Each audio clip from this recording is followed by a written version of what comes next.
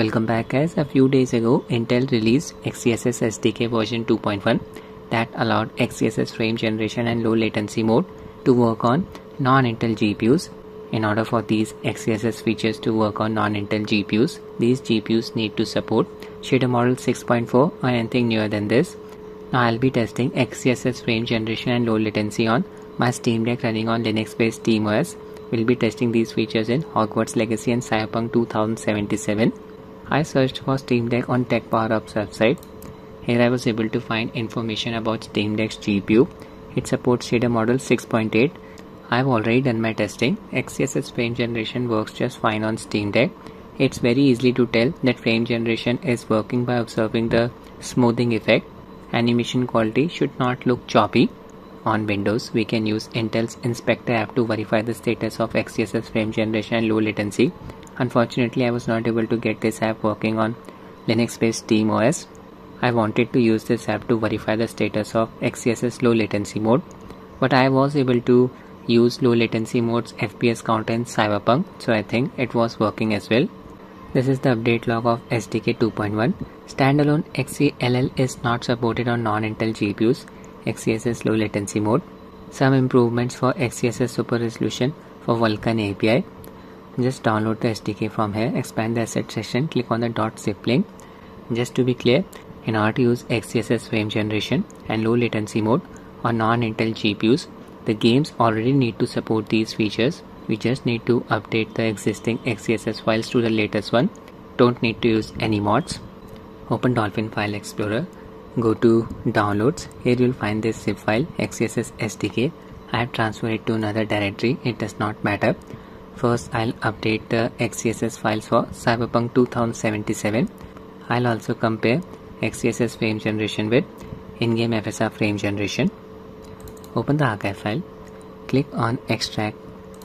Click on extract here wait for the extraction process to complete finish close.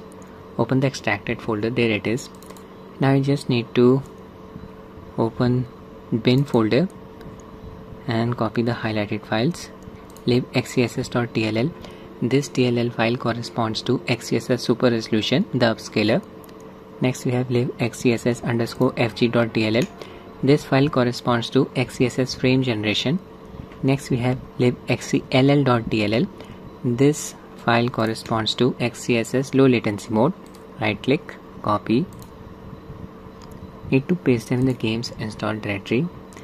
Just select the game in your steam library cyberpunk there it is. Right click manage click on browse local files. This will open the games install directory. Do not paste the files here. Open bin folder. Open x64 folder. Paste the files here. Replace the existing file with the latest one. Apply to all override. If you want to revert the change just verify game data integrity via steam that's it we are ready to run the game switch to steamOS game mode for cyberpunk i am using g proton version 10-10 as the compatibility layer connected my FlyDigi Vader 4 pro controller to deck via bluetooth mode x input controller I have the LCD variant of Steam Deck. Display supports up to 60Hz refresh rate. I have overclocked it to 70Hz. Performance QM settings. overlay level set to 3. Disable SteamOS VSync by enabling disable frame limit and allow tearing settings. Manage GPU clock switch setting disable for the time being. First I'll show the base game performance. Run the game without any frame generation technique. I'm using the low graphics preset upscaler set to XeSS2. We'll be combining the same upscaler with FSR frame generation and XeSS frame generation using the balanced preset of XeSS upscaler. Sharpness level 0.5 frame generation disabled for the time being motion settings set to low post processing effects disable film grain chromatic aberration depth of field lens flare and motion blur. With the low preset some settings are set to medium. Video settings display mode windowed borderless. Resolution 800p yeah we have access to XeSS low latency XeLL I'll just enable it why not? This game actually supports AMD's anti-lag 2 but anti-lag 2 is not compatible with Linux. XeLL's FPS cap. vsync off apply here we are in I am standing right outside V's apartment building in Little China here FPS is within a range of 30 to 40 hitting the GPU bottleneck as expected but look at that CPU load 93% oh my god this game is very heavy on the CPU animation quality is looking a bit choppy as expected. 30 to 41 fps better to cap the fps at 30 for a more stable experience if you plan on playing the game without frame generation. Let's test XeLL's fps cap. Video settings. I have applied a 30 fps cap from here. Apply. Resume the game and now fps is capped at 30 see? Staring at the sky to reduce the hardware load fps is still capped at 30 so XeLL does seem to be working. Just remove the cap now. Set fps target to 0 apply. Resume the game. Yeah now we are getting close to 55 fps okay now i'll test the in-game fsr frame generation show you its smoothing effect. Disable XeLL off from the graphics setting just set frame generation to FSR 3.1 need to restart the game for FSR frame generation to work properly Deck's APU draws up to 15 watts of power. This power is shared between the CPU and the GPU. If the CPU draws too much of power, GPU's performance will tank and vice versa. So I'll apply a manual GPU clock speed setting of 1400 MHz at the same sequence here fps here is within a range of 50 to 60 but I'm not impressed with the animation quality. It's looking so choppy. Then what's the point of enabling FSR frame generation? It's only going to increase the game's latency. Animation quality is looking so choppy here. Almost as if FSR frame generation smoothing effect is not working at all 45 to 60 fps okay now I'll switch to XeSS frame generation.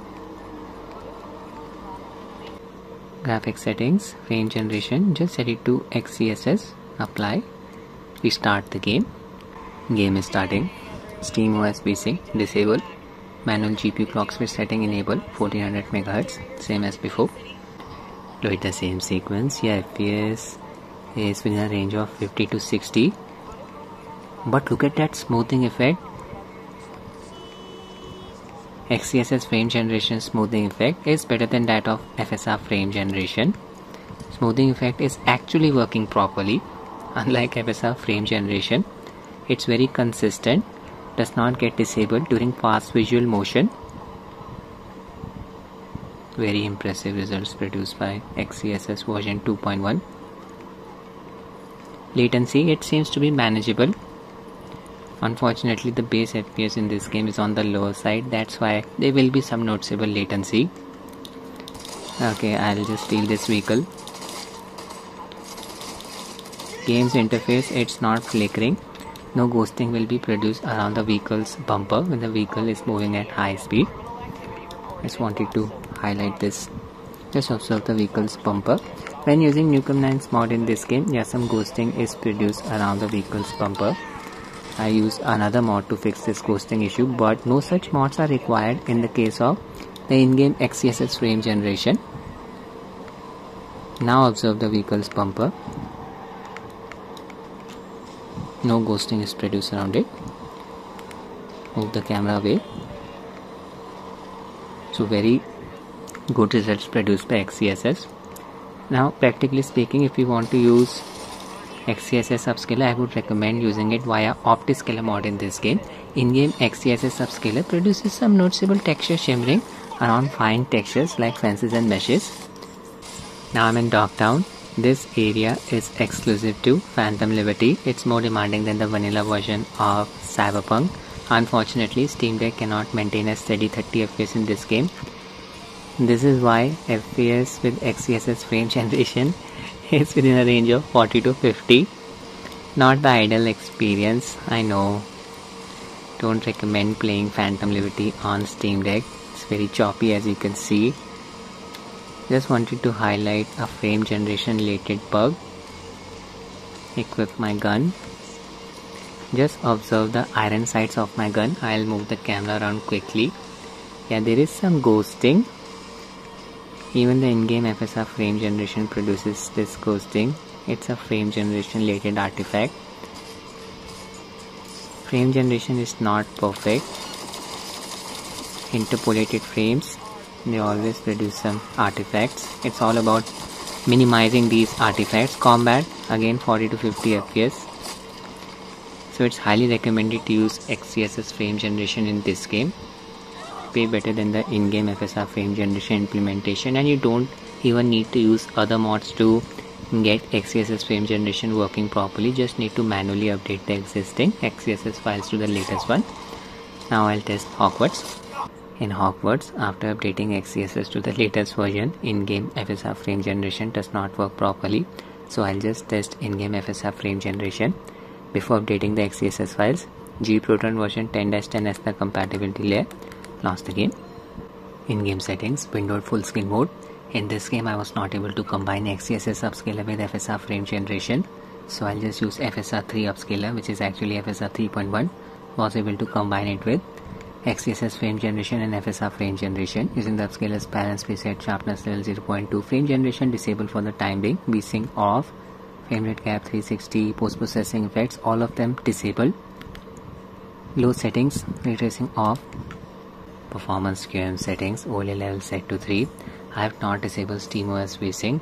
It can cause some stutters after enabling FSR frame generation. Manual GPU clock setting disabled. I am standing at the entrance of Hogsmeade yeah FPS here is variable.